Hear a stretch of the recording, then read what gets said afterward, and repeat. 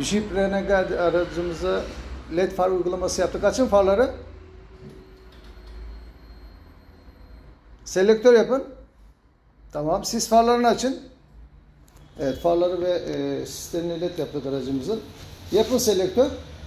Tamam. Kısada kalsın öyle. E, H4 serisi lambadır bu. H4 lambalarda e, ufuk çizgisini almamız çok zor. Her marka üründe güzel ışık alamıyoruz. Yapın selektör. Evet gayet güzel.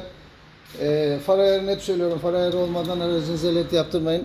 Gördüğünüz gibi ufuk çizgisi ne kadar net. H4'te bunu alamazsınız genelde. E, gayet güzel bir uygulama oldu. Sis farına. E, gündüz farına yapamadık. Gündüz farı çift devre tek devre lambada çalıştığı için ledler uymuyor. Yapın selektör.